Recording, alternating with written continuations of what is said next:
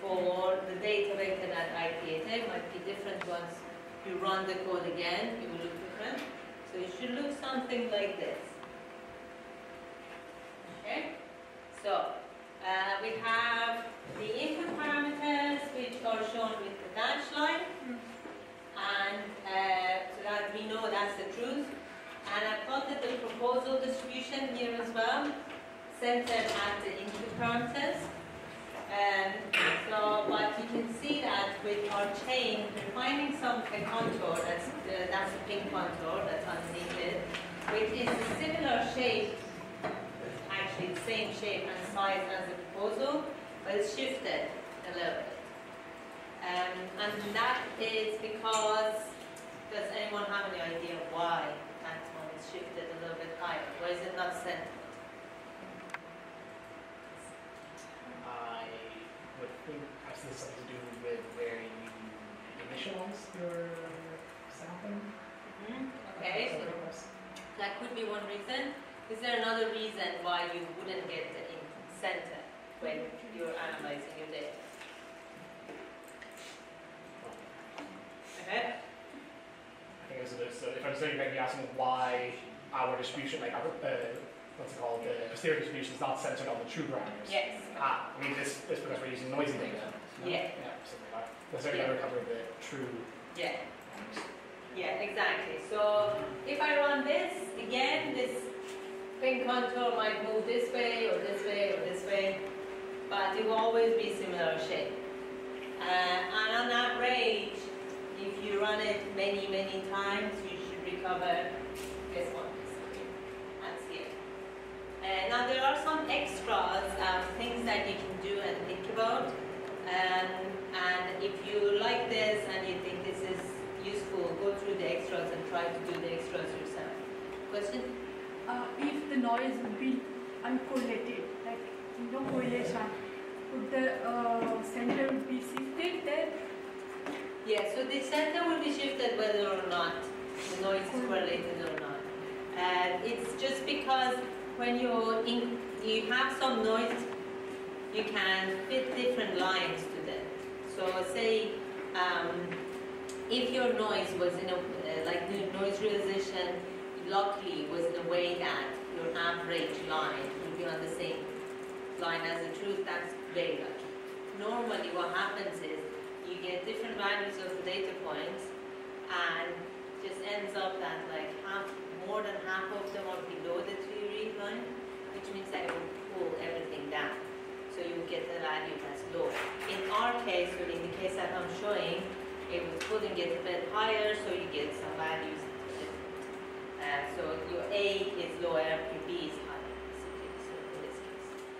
Um, so that will happen in either case.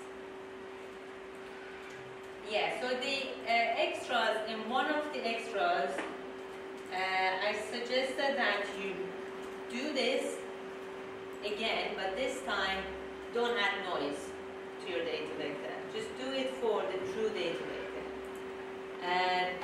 And, if you do that, you should expect to get exactly the proposal distribution. Okay? So now one other question for you. Um, imagine that uh, instead of this function, which is a very simple function, it's linear in your parameters, you had a more complex function and it wasn't linear in your parameters. And in that case, what do you think your pink contour would look like with respect to your orange one, which is the proposal distribution? Let's see if someone else knows or wants to guess. Would it look the same? So let's get both. Do you think it would look the same as the proposal? No? Do you think it would look? If you think it look different, raise your hand. Yeah, okay. Can you say why you think it would look different? I imagine it like, uh, for example, in, when you are calculating the, like the banana, right? In the, I don't remember which parameter it is, Yeah. but. Uh, Sigmoid order. Sigmoid, yeah. Yeah. So it's when you're more complex, uh, what happens is that your likelihood distribution is not going to be Gaussian anymore. And what we've done with the proposal is to define a multivariate Gaussian distribution, which gives you ellipses.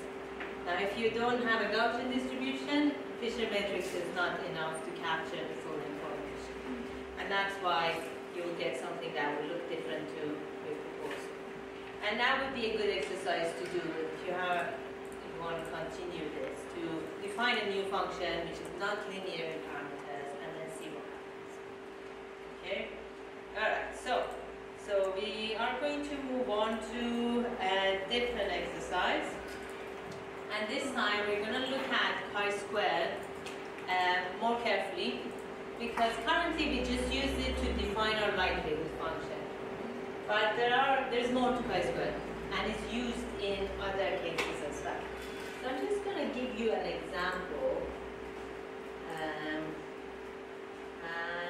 then we can start and then we go on and discuss things. Okay, so um, one of the places where we use chi-square distribution is to tell if a model is a good fit to the data or not. So that's called goodness of fit. And we're going to talk about model selection in terms of like Bayes, Bayesian analysis as well.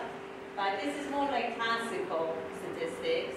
But there is a relation between this and what we learned in the last session. Now, um, what we normally do is, so here I'm showing you some mock data created for these things that are called B modes in uh, for gravitational lensing. So B modes in gravitational lensing are things that are used to check if there are residual systematics in the data. So we expect them generally to be zero if there is no residual systematic. Uh, but if there are systematics, they might not be zero. Okay? So in this case, um, if there was no systematic, the Bn will be on the dash line. But as you can see, I have a model for a systematic which is uh, called MPSF. PSF stands for point spread function. That's your seeing effects, which is like your atmospheric effects, which blur out your images. Basically. So if you have galaxies, uh, they will look fuzzy because the atmospheric effect. And that's called point spread function. And I've plotted how that would affect the beams. This, it doesn't really matter what, where this is coming from, but just imagine you have two models. One is zero, the other one is not zero. And your data is coming from the non-zero one, but generally your assumption is that it should be. Uh, now with chi-squared you can check if your data and, and your model are good fit to each other. So in this case you can look at the chi-squared value for these red data points with respect to the dashed line and then if that value is a bad value, and we will define what bad value is later, uh, then we can say that this uh, null hypothesis, when we, we call it because it's a zero, is not true. And there must be something else in there. So you're going to do this now with, uh, in, with another Jupyter notebook. So if you go back to the GitHub repository, there is the a new folder called second session. And then there is a new notebook. Okay, so the start of the notebook looks the same as what you've done already. Uh, and I've filled in the starting bit, so you don't have to do it again. And then after that, what you're gonna do is you're gonna make multiple realizations of your data and then see what chi-squared values you get plot the chi-square distribution, and then we'll look at how that chi-square distribution looks like and what information. Okay, so this is just a short intro to that, and just go to that and then we'll talk. Let's see how you're doing. Has anyone managed to make the plot? Okay, a few people yeah? One moment, yeah, to bring the another person. And does it look like this?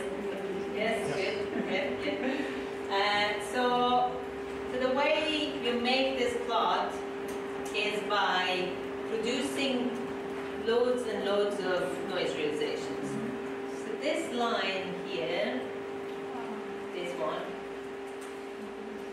is producing um, embryo realizations of your noise using multivariate Gaussian. So it's using the same method you did before with the Cholesky decomposition where it does it internally so you don't have to worry about it. And then what you have to do is for each of these noise realizations, create a new data vector and then feed that data vector into your chi-squared function and get a new chi-squared. And then you can put all, all of these into one array and then plot the histogram of that. Okay, and then it will look something like this. Now, what is this telling us? When we are changing the noise, the isolating upward, that needs to be depending on the order and the triggers, depending on the order, because we are taking the noise of the isolation. Yeah. So, we have a maximum of, uh, because it, I think it depends on what kind of errors we are adding, mhm, because if it's choosing from a distribution, yeah, then that's what classical is. yeah. So, so if you have, we're gonna see in the next step uh, what's gonna happen. What that this is a chi-squared distribution. That's what it's called. And so if your data is Gaussian distributed, then your chi-squared will be chi- chi-squared distributed. Sometimes your chi-squared is not chi-squared distributed, which is kind of like uh, a little bit confusing. And in our case, because everything is Gaussian, it's perfectly chi-squared distributed. But the interesting thing to look here is that although we set our wide theory to be the truth, depending on what realization you have, you'll get different chi-squared values. So sometimes it can be quite large, and if you remember from how your likelihood looks like, the larger chi-squared is, the smaller your likelihood uh, and chi-squared is telling you what is the distance between your data and your theory, right? So the distance is larger in this case. And sometimes it can be quite small, it's almost zero, so it's right on top of your theory. Um, so it, has a range. And you might have seen people using, um, say, reduced chi-square to tell you what's the goodness of fit of their model to the data. And what they do in that case, in the next section, what they do is they uh, they look at chi-squared and then they divide it by your degrees of freedom. Uh, and that gives you the reduced chi squared. And then, they, then you say, okay, if this reduced chi squared is close to 1, then um, I'm going to say the model is a good fit. But then the question is, how close to 1? Because, as you saw, that chi-square has a big range. So here, what we're going to do is we're going to look at a different way of translating these, this value per square, which is not a very intuitive value, to something that is a probability, which will be more intuitive. So then it's a value between 0 and 1, and we can decipher that. So we get to that in a little bit. Okay, so now um, try to get this plot done. I'll just leave the leave the code here so you can copy if you want. Um, and then move to the next. The next thing is to draw the chi-square distribution as a curve on top of it. Now, main thing is to know what is the degrees of freedom. Because if you've looked up that function at chi squared dot sf, you see that you have to give it this parameter, which is degrees of freedom. And the question is, what should be that degrees of freedom? Does anyone have any idea as to what it should be? Isn't it a data find parameter? One more person. Who wants to raise your hand if you want to? Yeah? It's not the data minus the number of free parameters, like Okay, the so- number of data points minus the free parameters you have with you. Okay, so if it's that, what number would it be then? It's like nine points to parameters, right, seven. So you have Okay, so seven would be degrees seven. of freedom. So have you plotted that on top of the? Right, okay, so if uh, you have the plotting right, then plot that and see if that fits the distribution. Uh, does anyone want to give a different answer? Yes? Oh, The sum, so 9 plus 2. nine plus two, okay, yeah. Why is that? Uh, I don't know, it's. Okay, you go ahead. Uh, equals the num- amount of data we have, so the number of observations. Yeah, what is that?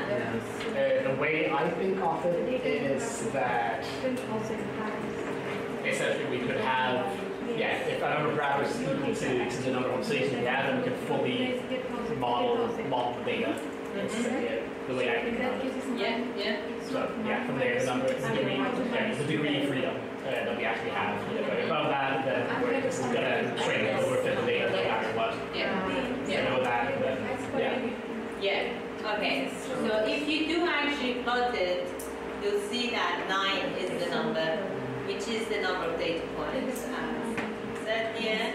Uh, and the reason, but then you've obviously heard this thing that number of data points, number of parameters. So where's that coming from? Why is it not applying to this? Does anyone have ideas why that is not the case here? Because it comes from the model that you are assuming that they follow, right? What you actually have in the data is only the data points. Yeah? So the model is like your own choice and doesn't have to be related to the reality or So how would you get the result that she was saying? Like when when does the thing that she said apply to the of freedom? Because it does apply to degrees of freedom in a case, which is not our case.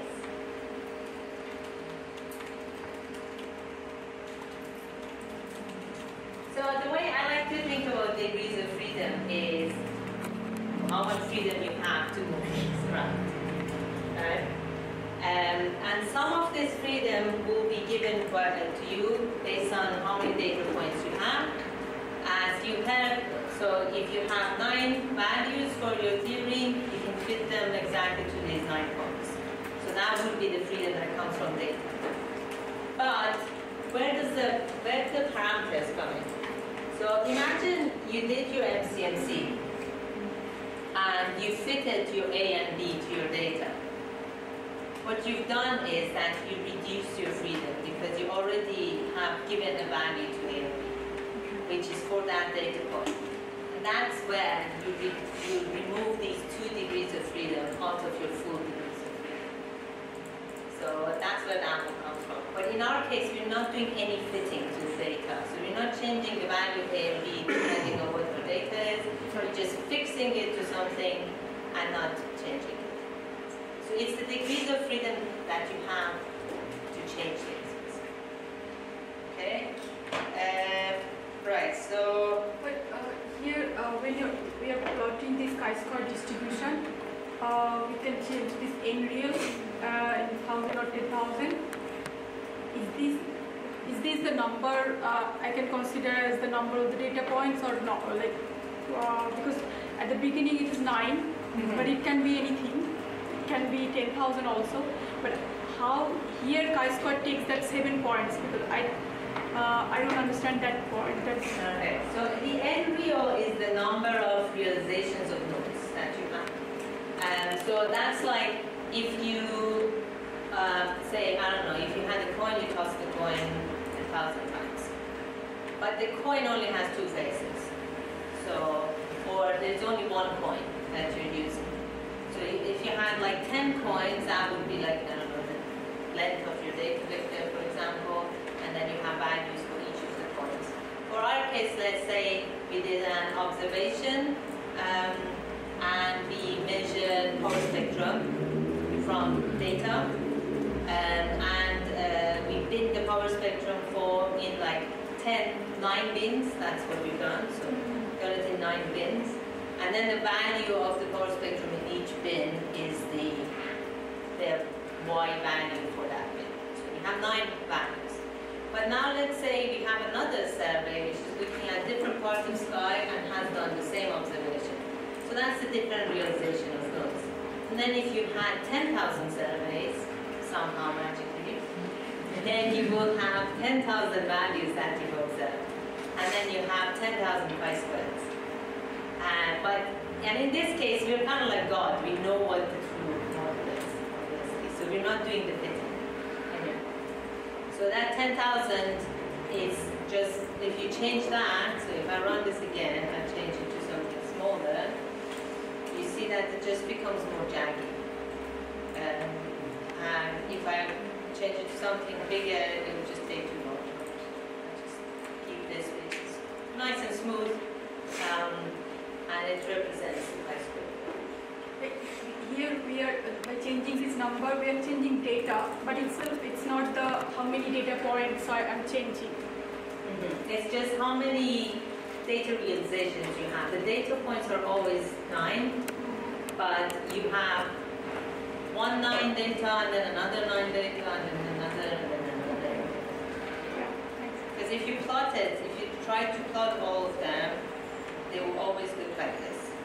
Just nine points, Yeah. mhm. but they move around, so you go up, up. Okay, I need to plot curve. Uh, you have this plot that has the chi-square distribution on top of the histogram. Yes? If you do, raise your hand so I know I can move on. Yeah? Okay, well, most of you do. So let's move on to the next step, which is how do you actually translate the chi-square value to a probability value? And that is called p-value, or sometimes it's called probability to exceed. Uh, so what does that mean?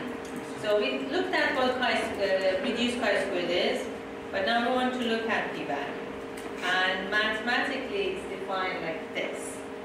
So the p-value is the probability of uh, getting a chi-squared value, which is larger than the chi-squared that you measured for your data, given your model.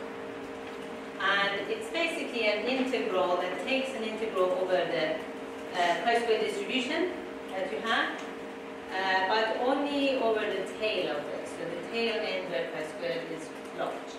And starts from your measured chi-squared, that should be squared here, um, to infinity.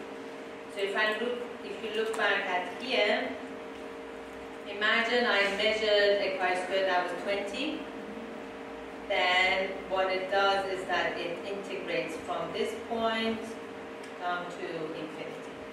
And you can see that the, um, the distribution or the weight of the distribution for larger chi-square values gets very small, which means that this integral that gives you the p-value will give you a small value when you are around near the tail. If you are somewhere around here, um, if you do get the p-value, it gives you p-value that's uh, around 50% because it's the it's almost 50% of the uh, area under the curve that co- is covered by this other half. So this other half here. It's 50%. If you're somewhere near here, you get a p-value that's basically 1. Uh, because uh, you basically have the whole curve to integrate with. Right? And then if you're down here, you get something that's practically zero. Right? So, um, so the next step of what you should be doing is to calculate the p-value and then um, then plot it for all noise realizations that you. Yeah? And then see what the distribution looks like for people. Sorry, can I just point out, uh, chi-square measure is any for one the Yes. we use it in Yes, so the chi-square that you had before. So if the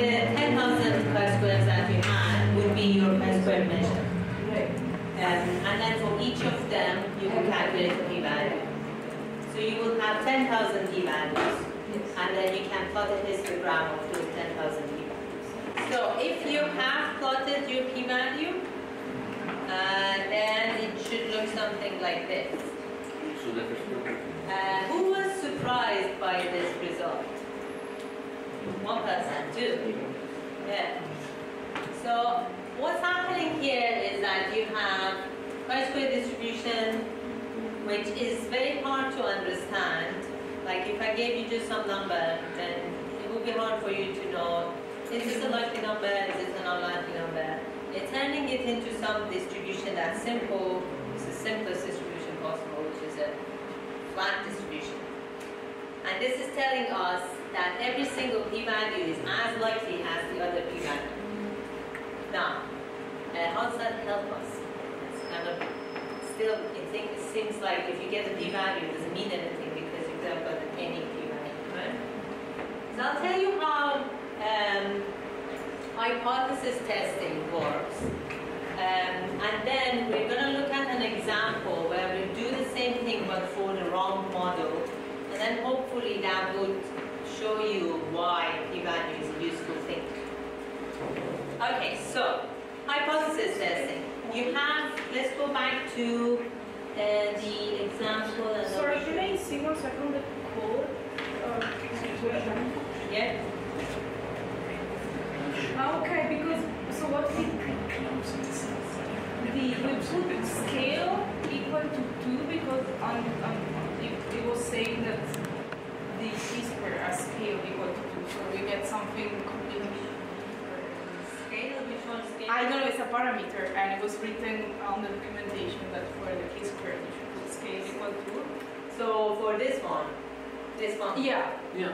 So there might be other parameters for that function that if you touch them, you'll get different results. because you we won't get like exactly the distribution but can't at some point. Ah, right, okay. I'm not sure, it's probably this function does more complex things, not just p-value. Yeah. Um, and the extra parameters that you define probably has changed it to being something else. I don't know what it does. exactly. Because it, it is exactly what we had before, but just cut at some point and then Ah, the right, rest. okay.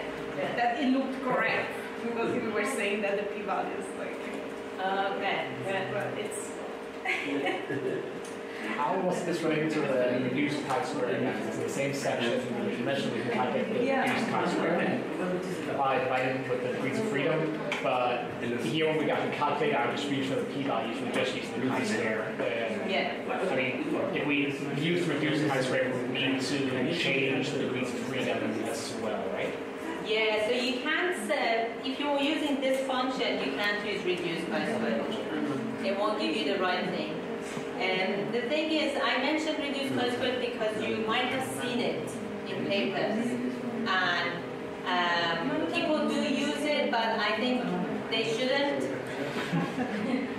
Um, and I, I wanted you to see why you shouldn't, because the reduced, the value of reduced chi-square really depends on your degrees of freedom. So 1.2, you might think, oh, that's pretty close to 1. But if you have uh, very high degrees of freedom, that might be a 5 sigma deviation from the truth. So, but if you have very few degrees of freedom, it's actually a perfect fit. So it's within 1 sigma. So you can't really use that number to tell what it is. Or when you use p-value, it tells you something that is a bit more useful. But currently, if you look at just this distribution, it looks like p-value is also not that useful, right? But we're gonna go to this example, and I'll show you why, or at least start showing you why it's useful. Okay, so um, we know that depending on your noise realization, you might get different chi-square values, and then you get different p-values. But we are we've been only looking at the true model so far. So imagine um, instead of looking at the true model, we have the incorrect model and we're comparing it to the data. which would be a lot of the cases when we're doing real, uh, actually dealing with real data because we don't really know what the underlying true model is. And in this case, um, as I said, we expect the B modes, which is the systematics in the data, to be zero because we've done a perfect job cleaning our data. Uh, so our, our model is going to be the zero line, but our data is not. Now, next step, what you're going to do is you're going to use the same realizations of noise to create your data, but this time you're going to look at uh, the um, wrong model and see what happens to your distribution. Now I said that uh, I'm going to tell you what hypothesis testing is. There's a classical statistics method where uh, you have you have one hypothesis, usually called null hypothesis. So in this case, it would be n zero, and then you have an alternative hypothesis, which normally encompasses everything else. So in this case, it would be it's not zero, it's something else. Okay, so it won't be simply just as MPSF. It could be anything, but it's just not zero. And then what you do is you do, um, you look at the p-value for your null hypothesis. And if the p-value is small, you say that I reject the null hypothesis, therefore the other hypothesis must be correct. And this is a classical method. There might be some, there are some issues with it depending on what situation you're looking at but uh, p-value, this is how it's used. And now, might ask, you said small, but how small? Right, so, and that is a personal choice. People use 0.05, uh, 0.01, I've seen 0.001, but the main point is that you have to choose this value before you see what your p-value is actually. Um, and then stick with it because otherwise you can um, use it the way you want. So let's say you don't like the null hypothesis, you can just choose the threshold above what you can really get, and then you say uh, it's rejected. But if you want the null hypothesis to be true, so in this case where it's actually showing systematics, you might just put the p-value very small, and then you say, oh, my data is perfect. So that's what people do normally. But this is still doesn't tell you why this small number is a useful thing. We're going to do the next step and then we'll see. Who got the plots? Yeah, who has it? Let's give you a few more minutes. So your plot should look something like this. Uh, the blue one is the original chi-square and then the red one is the new one with the new wrong model. So you can already see here that uh, the chi-square value is the new chi-square distribution or distribution of chi-squares is shifted towards, uh, so this should be chi-squares, uh, shifted toward larger values. So which means that what happens to p-value is shifted towards smaller values. So your p-value plot should look like this. Okay. So now, um, your p-value plot looks like this. How does this connect to what we're talking about p-values? Like take one minute to think about this by yourself and then discuss it in a group and then we'll come back to discuss it. Okay? So the question is, uh, how can p-value help us and how can p-value, putting a threshold for p-value, help us decide uh, whether a model is good or not? And how can this plot in particular help us understand that? So, so what did you discuss? Anyone wants to start? Yeah? Yes. Um, so what we can see from this is that with a new model, we generally will tend to have lower p-values across our random noise realizations. And to compare with the original, we can see that we'll say we have higher p values, meaning that it's much more likely that we're above whatever cutoff we choose using the original model. So kind of rudimentary uh, model comparison Yeah. with these distributions. Yeah, yeah, exactly. So it only comes to light when you compare it with the wrong model. So whenever you have a wrong model, you get something like this. The further away the model is from your data, the more more weight you will put on the small p values. Um, and when you get a very small p value, then what you should be thinking is maybe there is another model that fits my data better. Um, so because it's much more likely to get the p value from a wrong model than a true model. But by itself, if you only had true model, everything would have been not as likely as the other. But uh, when you put a threshold, then it's kind of like taking an integral over uh, this distribution. And if you put like your threshold here, basically saying, I'm only worried about things that are down here. Although it could be just an unfortunate noise realization, it's much more likely that my model is wrong and it's actually this red curve that I'm looking at instead of the blue curve. Okay, so that's why we use p-value to say, is my model a good fit to the data? Okay? And there's actually a relation, we'll talk about Bayes factor, Bayes ratio uh, later. There's a relation between Bayes ratio and p-value. It's like, uh, gives you, I think, an, a lower limit for it. So there is like, it's not like completely separate things. Okay?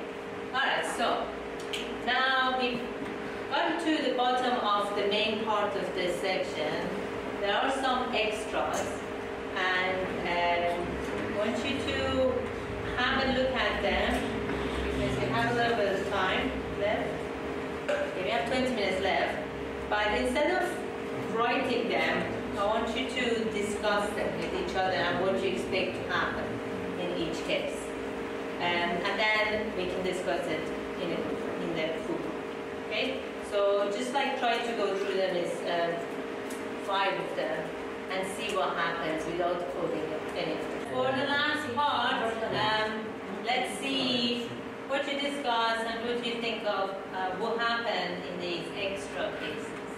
So the first case, uh, question is, what happens if the A and B values in this section where we're looking at the wrong data were different values? So they weren't 1.5 and 0. What happens in that case? Uh, does anyone want to discuss that? Yep.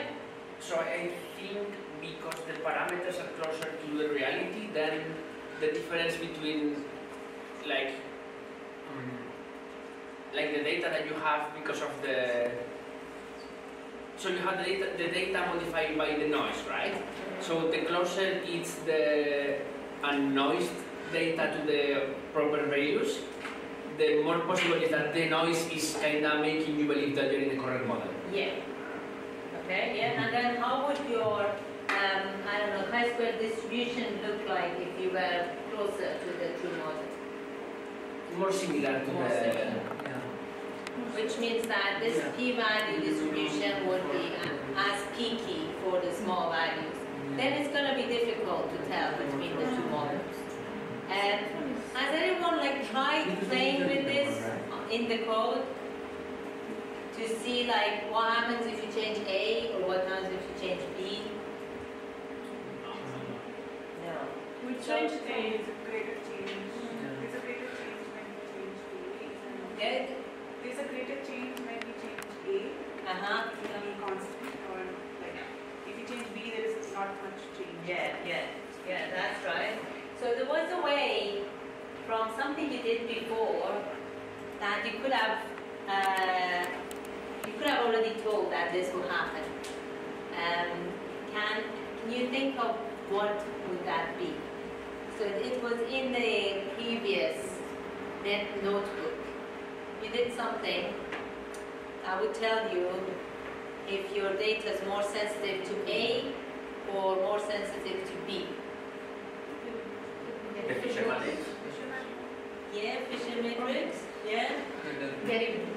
Uh-huh, yeah, yeah. So the Fisher matrix tells you what your information is, and uh, in one direction you will have more information uh, than the other. You also, if you look at just the derivatives, um, it tells you, uh, even if you don't know anything about noise, which parameters the model is more sensitive to. And then when you look at the Fisher matrix, it also has the covariance in there, so it has a weighting of noise of the data. So it's told you which one it is. Okay, so next question is, uh, what if we had different error bars? So if the error bars are much smaller or what much larger, how would that impact this analysis? And our, our theoretical model, or like our true model, shouldn't change since it is a true model, but our, any, any choice of deviation from the true parameters is gonna have much higher chi-squared values, so we're gonna have a higher chi-squared distribution, and our p-value distribution is gonna tend more sharply towards zero. Yeah. Yeah, exactly. So that's why, like, uh, say you have a new model and it looks a lot like uh, the standard cosmological model and has like a little difference with it. And then you try it on current data and then you say, oh, I can't tell what's happening. But with this new survey that's coming up, I'm gonna have more information because these like chi-square values, these differences between them will be exaggerated. Right? And then uh, next one's a little bit of a long one. Um, this is going back to that degrees of freedom that we're talking about. So this is if you if you try to do this but combine it with the previous analysis where you were doing an MCMC. So for every noise realization you ran an MCMC and fitted your A and B. And then, uh, well, how would your chi-square distribution look like in that case? Would it be any different to what you had before? So if you look at the best fitting values. Do you remember what the answer is? Because we kind of discussed it. Anyone else? hey, you go ahead. I would think that we'd be back in the case of the, yeah, question one, right? In the sense that since we're using a different model and we're now trying to fit our original linear model, we're going to get a worse chi-square distribution. We're going to have a values that tend towards higher values. Mm-hmm. And again, distribution p values that tend towards towards zero in this case, because we are trying to fit data realizations that come from a different underlying model with this linear model. Okay. So what if you were using the true model in this case? Uh, so both cases you were using true model, but you did an MCMC and you found uh, this time you're not like fixing A and B, you're finding A and B that fits that data. And then you dis- plot the distribution of your minimum chi-square this time. So, so it's the minimum chi-square that you get in your chain. Okay, so what will happen in that case? I would expect the chi-square distribution, all of them to be very small because that's kind of the value we are optimizing because it's a, um, a function we, we were using in the MCMC. Okay, so it will, you expect it to be smaller, right? Yeah. Uh, but how much?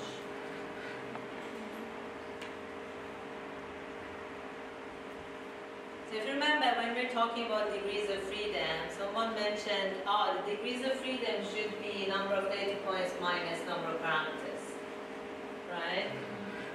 So, and then I said that that only happens when you're fitting parameters. Okay. So this is what's going to happen because you fitted two parameters. The chi-square distribution is going to be um, following a chi-square distribution that has two less degrees of freedom. So instead of nine, it will have seven degrees of freedom, so everything's gonna be a bit smaller, but still gonna have uh, some variance there.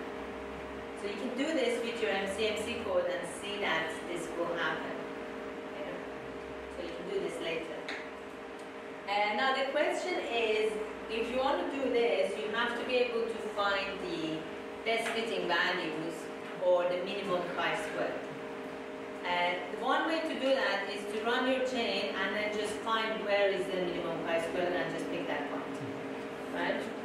Uh, but there's another way that you can uh, adjust your MCMC code so it finds that point much faster and doesn't really care about other points.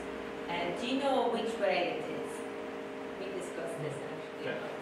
But let's see if anyone else has an idea how you can do that. How would you change your MCMC? So he only tries to find the maximum of the likelihood. It doesn't really try to find everything.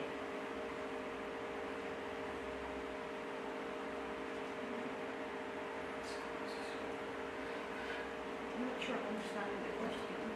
Yeah, I'm not sure I'm understanding your question, but do you mean you don't want to explore the taste of your distribution, you just want to find the peak?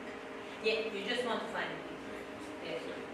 I can always go the steepest slope, right? Instead of making like a, A random? a random walk, I always go the steepest slope to choose the next point.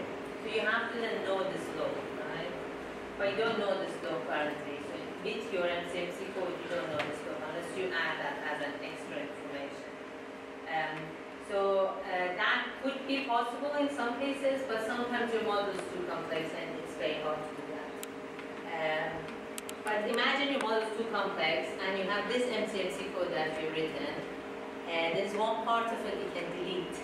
And then if you then delete that part, it gives you the maximum instead of trying to explore everything. Because you brought your likelihood as a multivariate Gaussian with a chi-square. You know that the minimum for this chi-square will give you the maximum of this likelihood in this way, right? So you just need a minimizer here. Yeah, so the, a minimizer has to find a minimum somehow, right? So then one way to do it is to do a Monte Carlo chain. Uh, but uh, Markov chain to find the minimum. It's not the most efficient way, but it will give you the answer. So the question is how will it do that? It's the same code, just like a couple of lines are deleted and it will work. Do you want to tell? I mean, it's, we just uh, remove part of the probability. So Yeah. we, we don't uh, sometimes go away from the minimum, but always go towards. Yeah, so remember when you wrote your MCMC, you you had a starting point and then you had the next point that you picked from proposal, and then you compare the likelihood in these two points. If the likelihood was higher, you picked the new proposed point. If it was lower, you didn't always throw it out, you still had some probability of picking it. So that part of the code, that you would accept your lower likelihood value, you just delete it. And so you always move towards the higher. So you can use your MCMC code by deleting just a couple of lines to do this exercise. Alright, so it's almost time. Uh, yes, and we're gonna go to dinner tonight, so uh, let's Thank you very much.